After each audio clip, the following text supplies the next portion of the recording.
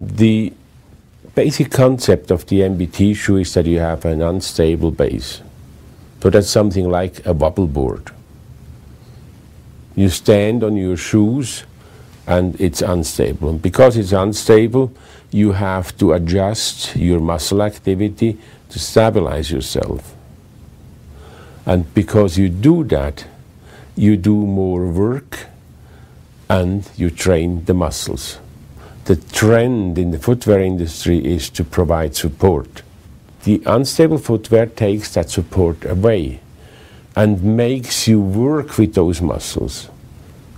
That means you use instability to have a training device.